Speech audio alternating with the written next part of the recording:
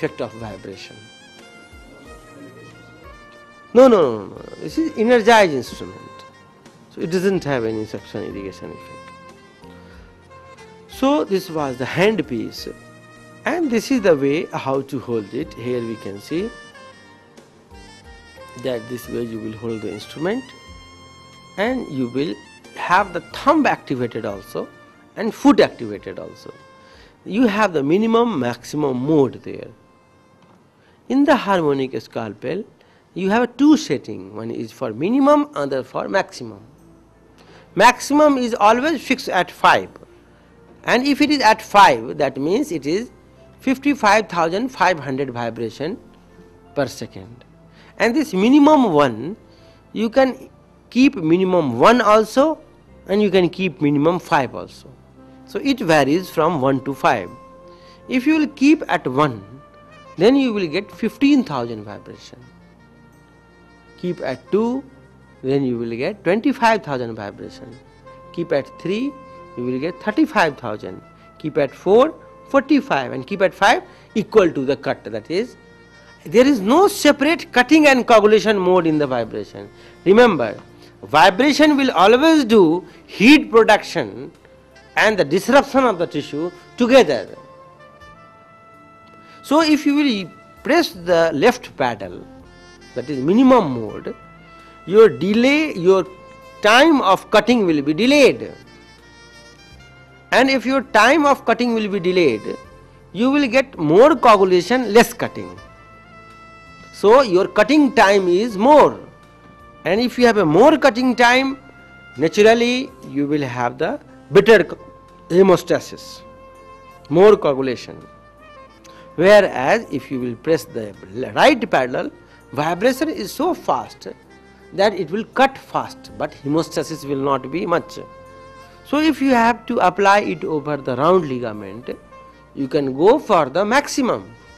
If you have to apply to dissect the gallbladder from gallbladder bed you can press the maximum but if you want to coagulate the cystic artery or uterine artery you use the minimum so that it will take more time to cut and by the time it cuts it will already it will get the collateral damage and tissue has already hemostasis has been achieved.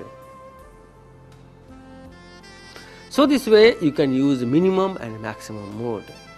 It has both the hand activation as well as leg activation. Harmonic scalpel has less collateral damage and tissue necrosis compared to electrosurgical generator. Remember that this harmonic scalpel term is basically the trade name of the Ethicon company.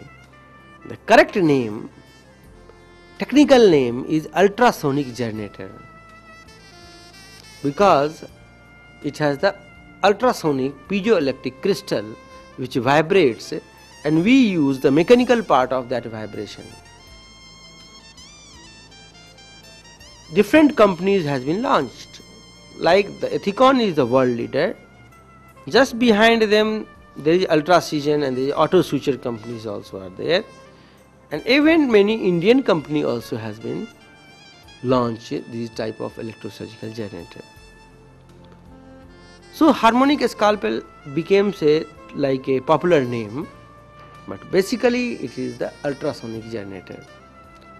If you will see in that that this piezoelectric crystal you can put in any of the instrument. And there are many type of instruments there. Some straight jaw some curved jaw some hook some spatula like some knife like different instrument you can attach in this transducer. And you can use your thumb to activate it is 5 mm you might have 10 mm also if you see very carefully this is one jaw which is fixed and this is another jaw which is vibrating.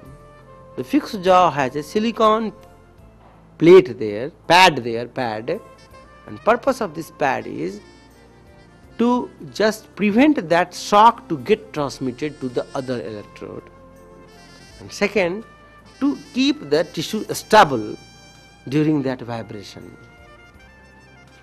when you have cut the tissue, immediately you should remove your finger from the instrument. Otherwise, you can damage this pad. And once this pad is damaged, they are not making replaceable pad. Once it is damaged, you have to change your instrument. Basically, this instrument is also disposable. But in India, at least, nobody is throwing it out. We keep it and we sterilize it because cost is 25 to 35,000 sometime. And that 35,000 instrument, you cannot throw it in every case. So you have to re-sterilize and reuse it. Generally, I am using 20 also. It depends that how nicely you use it. Generally, company is recommending that maximum you can use 5 to 10. But if you are very careful, if you are holding it nicely and you are switching it off immediately as soon as the tissue is cut, then it will last long. It is not true that this instrument is 100% guaranteed because sometime it breaks the tissue and it start bleeding want to stop. Remember that our monopolar or bipolar has the maximum capacity to seal the vessel up to 3 mm size. The harmonic shear or wave, harmonic wave and shear, that is the ace, harmonic ace, has a, they have they are claiming that it can seal up to 5 mm. So, but generally we don't dare to seal 5 mm with that. It is better to clip, better to apply your knot than to directly completely relying upon that. But theoretically you can do that. Another precaution you should keep that this vibrating blade, if vibrating jaw, if it is touching any of the nearby tissue, and immediately it will get explode. So remember that if you are trying to cut the cystic duct by harmonic, then always keep vibrating blade towards yourself. Not accidentally it should go towards the cystic artery. Otherwise, just after cutting the duct, that artery will start bleeding and you will be in trouble. So, always keep that vibrating jaw visible towards the telescope and then it will be better. Accidentally, it should not touch the bowel also, otherwise, bowel can get perforated. This is important to keep in mind during the harmonic scalpel. The electrode of that I will show you. Another important instrument is tissue response generator. What is this tissue response generator? What happens that doctors started blaming the engineers a lot that your machine is not good. It's not cutting, it's not coagulating then they thought that why not to put a mic and most of the time this is our fault. We are overcooking, we are undercooking, we are not giving the proper frequency which should be present. We are not manipulating the tissue nicely. We are not using the accurate size of electrode. So what they did, they put a microprocessor inside the machine. And that machine now can sense the burned collagen and overcooking will be avoided. So this way we can see tissue response electrosurgical generator first it was invented by the Valleylab company that is named Ligasure. What is the advantage? That it will not overcook. When you will apply it in between the tissue, tissue is in between, then it itself will give you the intermittent activation. And as soon as the first bit of collagen is burned, automatically it will switch off. So we can never do the overcooking. And that's why it can seal the vessel up to 7 mm size. only 5 harmonic can only 5 another advantage that it is bipolar so it causes minimal thermal spread so this tissue response electrosurgical generator has having the capacity that it can be used with confidence on the vessel up to 7 mm size. Another advantage, it is bipolar which causes a minimal thermal spread and it has a unique energy output. Unique energy output, when you open the jaw, if the jaw is opened more, then it will create, if you will open it, then it will give the more energy. If you will open the jaw less, it will give less energy. So you don't have to apply your own common sense. Machine itself, itself will decide that how much intermittent should be the activation, what should be the intensity of the current and when it should not be overcooked. So this way it minimizes the multiple application and it has a cutting blade also in between. If you use this cutting blade, just you press it just like tripolar, you press it and it will cut also. Because bipolar doesn't have the true cut. So this way you can cut it also. This is the Ligasure, here is the instrument and this is the activation paddle. This is No, no, any bite you can take. Any bite you can take. 7 is the maximum. Maximum which it can go for. But it doesn't mean that you need 7. Any bite you can take and you can use it. And the instrument you can even use it for the dissection also by opening the jaw. You can use it for dissection. And this way Ligasure can be used for your practice. Now up to this point of the PowerPoint, whatever I have discussed that is applicable for all both open surgery as well as laparoscopic surgery. Now what I am going to discuss now is applicable only for laparoscopic surgery. There are few safety consideration in the minimal access surgery which we should remember. The first safety consideration is overshooting. What is overshooting? Overshooting is sometime when you are touching the tissue. Just after leaving the tissue, your instrument is going away from the field of vision, like cut, and this instrument is overshooting. This overshooting is bad because if you will do overshooting, sometime accidentally it can burn the diaphragm and in gynae practices if it is down it can burn the bowel if it is up it can burn the bladder so you should must remember that whenever you leave the tissue, your hook or any electrode should not go more than 1 to 2 centimeter means it should must be under the field of vision. This is first drawback. Second drawback is overcooking. What is overcooking? That you are, because surgery laparoscopy is not a surgery in reality it's a surgery over image. So sometime we forget that image and our color contrast our setting of the color of the monitor and camera is not good. And we cannot appreciate between the brown and black.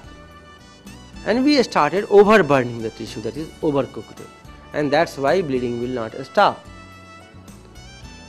Another disadvantage and complication may happen is direct coupling what is direct coupling? Suppose this is a hook and here is a bowel loop and this yellow part is your telescopic vision. If you are holding it and suppose this is the suction or any uninsulated other instrument present there. What may be the another uninsulated instrument? What are the uninsulated instrument? The needle holder is uninsulated, knot pusher is uninsulated, suction is uninsulated, claw forceps is uninsulated, stone holding forceps are uninsulated and any of those uninsulated instrument if, if it will come nearer then they can create direct coupling ये तो hook का है hook लेके आओ so yes so this uninsulated instrument can create this direct coupling. And what does it mean? That if you will touch it here and then this is the bowel then the current will pass to that uninsulated instrument. And if this bowel is in contact with that instrument anywhere it will get burned without your knowledge this is direct coupling if you see even your telescope is uninsulated and this is the hook touching the telescope and this got the current and this is direct coupling. This is one just video to show you how it burns. This is the bipolar, this is the telescope and it is burning down there due to direct coupling. So never bring any uninsulated instrument near the active electrode. Never bring any uninsulated instrument near the active electrode. Otherwise, it can create the direct coupling. Another drawback is insulation failure. What is insulation failure? That sometime due to misarrangement and carelessness and not good management of the care of instrument it will get breached here we can see. This is insulation failure. This is very dangerous because any time without our knowledge we are inviting the complication is waiting to happen. Here itself in delhi 3 year ago in one of the medical colleges two surgeons have performed surgery same day and both the patient after two day came with the perforation of the bowel. Inquiry was set up, it was in the news also. And then later it was found that there was new OT assistant in the appointed. He was very enthusiastic but not knowing the laparoscopic how to maintain care of the instrument. With the knife he saw some blood deposited and he scratched it because he never knew that this is insulation which should must be respected.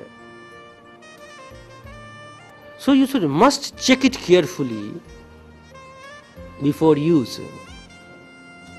Alternatively, you can put some money and you can buy the AEM system that is known as active electrode monitoring system if you will use the active electrode monitoring system, then these things can be minimized. These drawbacks because it will give you alarm, ten, ten, ten, ten, like change your instrument. It will not accept the instrument which has insulation failure. That is AEM system. AEM, that is active electrode monitoring system. So these instruments but it is expensive. And if you don't have that much money then you need to inspect it carefully by naked eye. But many a time the naked eye examination is not complete. Because sometime what happen that we confuse. And if it is very small you need magnifying glass to check it. So if you want to prevent the complication of the insulation failure. In very small insulation failure then you should remember hook look and cook. What does it mean hook look and cook? Hook look and cook means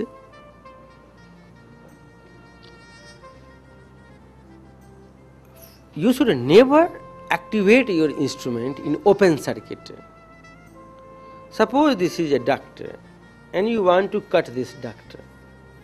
This is your hook. Suppose this is your hook and you want to cut it. What we do accidentally, just before reaching that, we activate our instrument like tay and then you are going. tay then you are going. This is very bad because this fraction of second time which you have taken to reach the tissue, the current is restless to jump somewhere and even the pinpoint insulation failure will burn the tissue. So always remember hook, first you hook it and then look and then cook. Why? After hooking, you should see certain things. Look. After hooking, look. For what you should look? First, you should look that amount of tissue which you are hooking. It should be minimum possible if you want to cut. Second thing that the direction of the tip of your hook should must be towards the anterior abdominal wall. It should never be superior and it should never be down. Otherwise, it can burn the bowel or diaphragm. Third thing which you should look is that how to manipulate the tissue. If you want to cut, give some traction to the tissue. If you want to coagulate, release some traction you should. Next you should see which paddle you have to press, blue or yellow and the last you should see that how much current you need that is generally fixed and then cook if you will do hook look and cook then it is not necessary to do always after some time spontaneously it will come into your brain. Spontaneously you will get the complete in your brain that it is there. And after that without your effort your brain will be programmed for hook look and cook. You don't have to think for this will become your habit. Even if it is a small insulation failure present if you will do hook look and cook it will not burn your tissue. Just like suppose you have a pipe drainage pipe for your house coming from top floor to the down bottom cemented big pipe. And if that pipe is broken at two three places very small broken two three places there is a small small breach but if it is a free flow and rain water is coming nothing will happen. This will not leak but you will stop from bottom. Then it will start leaking from everywhere where there is, there is discontinuity. Exactly same way, if you have already given a good hook and then you are pressing the paddle, a small pinpointed insulation failure is not foolish. It will not jump into the tissue. But if you have activated in open circuit, open circuit means without hooking if you have pressed the paddle, then current is restless to jump somewhere because it doesn't have way to go and then even for the pinpointed insulation failure it will jump and it will burn. So remember hook, look and cook and that will prevent it. Here we can see this is a video showing the insulation failure, this is seizures and it is burning at this point, here it is burning and this is the insulation failure.